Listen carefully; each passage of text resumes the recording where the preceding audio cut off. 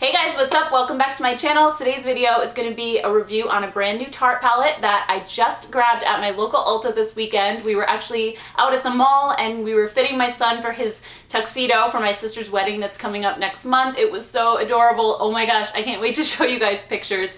Um, but anyway, I popped into Ulta and I spotted this palette right out on the front table and I was surprised because I thought that the um, launch date for Ulta was going to be May 15th, which is tomorrow. I don't know if that was just the website and maybe the stores were putting them out early, but either way, I got my hands on it and I actually told myself I wasn't going to buy this palette because it looks like a lot of other palettes in my collection. It's very like basic and neutral, but I saw it and I was like, I need to have this palette. I wear neutrals more than anything, so a neutral palette just always calls out to me and wants me to buy it. So I did end up bringing it home, but the good news is it was almost free because I had a ton of Ulta points, go Ulta. Um, so anyway, this is a collaboration with Aspyn Ovard. I had never actually heard of her before um, she did a collaboration with Pixi Beauty, I think back in the fall. And then I started following her and I definitely can see her choosing the colors in this palette because it is super neutral. I think a lot of people are kind of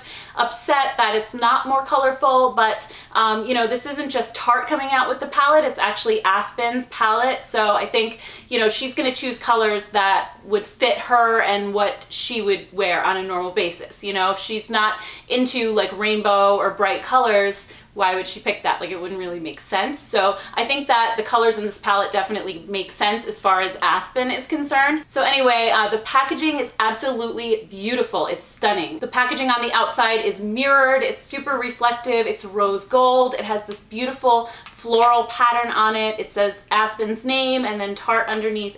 Inside you get a huge mirror, nine eyeshadows with a mix of matte and shimmer finishes, plus a blush and a highlight. So this is a face palette and I was really happy about that. I love face palettes. I think they're great for travel, especially now that vacation season is coming up. I was definitely looking forward to maybe taking this with me on some trips. So I've used this palette twice now. I used it yesterday, I used it again today, and I think that the formula is very consistent with all of Tarte's other palettes. So if you really like their Amazonian clay formula, you will definitely like this one. Um, it has I think it blends beautifully. It has the vanilla scent to it that all the other palettes have. Actually, you know what? Let's just jump into some swatches and that way I can talk about the formula across the different finishes. So there are three lighter, more highlight type shades in the palette. One has a satin finish and then the other two are matte. And I find that these kind of blend into my skin tone a little bit. When I'm applying them to my eyes, they almost disappear because I'm so fair. And then there are two mid-tone transition shades. These are both mattes, and the mattes in this palette are so beautiful. They blend like a dream. They're velvety, they're soft, incredibly pigmented. Then there are three shimmers in this palette. There's a really light gold champagne color, there's a medium coppery color, and then a deep brown. The medium copper shade, which is called Heart of Gold, is different than the other two. The other two I thought were really buttery and smooth, but Heart of Gold has that more flaky, chunky, metallic texture to it. So it has a lot of fallout and it doesn't apply to the eyes with a brush as well as the other two do. I think the other two are just way smoother, they pick up easier, and Heart of Gold is just super chunky. And even when I tried to use it wet or apply it with my finger, I still had a lot of fallout. So that's really the only shade that I had trouble with in this palette. And then the last shade is really the only deep shade in the palette. This is a rich, warm brown color that I like to use in the outer corner of my eye or up into my crease. And then the blush is absolutely beautiful. It's just one of those universal pink blushes that I think would go with just about any look you'd want to create, whether it's cool or warm toned. And then the highlighter is a really beautiful champagne color and it's super smooth, not chunky or glittery. It's just buttery and gorgeous. So while I like the formula overall, except for that one shade that I had trouble with, um, I think that this palette is very limited in the types of looks that it can create because the three really light shades end up all looking the same on me. They sort of blend right into my skin tone and disappear. Um, so I kind of wish that they had used at least one of those shades for maybe a deeper color because there's only one deep shade in this whole palette. And then you have your three different shimmer shades, but I feel like those three are the only thing that could change up a look a little bit. Like today I'm wearing the more champagne color on my lid. If I used maybe the coppery one another time I might get a slightly different look out of it but overall everything's gonna look pretty much the same when you use this palette.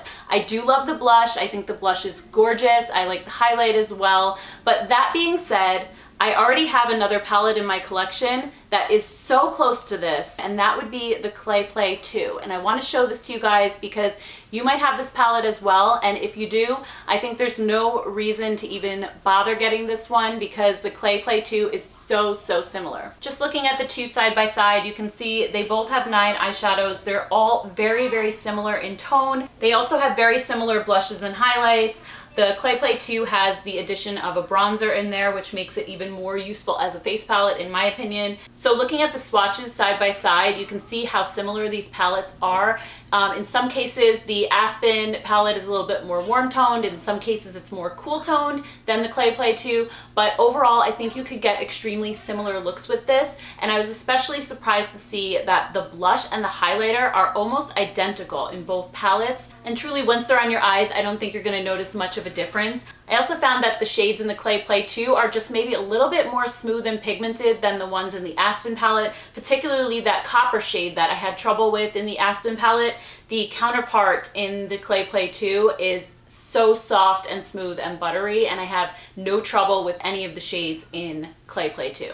So now that I've compared the two palettes, I think I'm actually going to return the Aspyn palette to Ulta just because it's way too similar to the Clay Play 2, which I didn't realize when I bought it, but now that I've seen them side by side, it's like there's no reason for me to have this other palette because they're almost the same and I can get so many of the same looks out of them. I also would prefer to travel with the Clay Play 2 just because it has the bronzer in it as well. And also I didn't have trouble with any of the shades in the Clay Play 2 whereas there was that one shade in the Aspyn palette that just had a ton of crumbly glittery fallouts. But that being said, if you don't have the Clay Play 2, or if you don't have a large makeup collection, maybe you're just getting into makeup, or maybe you want to buy it for someone who's just getting into makeup, I think that the Aspyn palette is a beautiful neutral palette, and um, the colors are really easy to wear. It's nothing too crazy. Um, also, it's very office appropriate, so if you like neutral palettes, if you don't have a lot of them and you want one, I think it's a really nice palette. It's just that for me personally, I don't need it because I have something so super similar and you might too.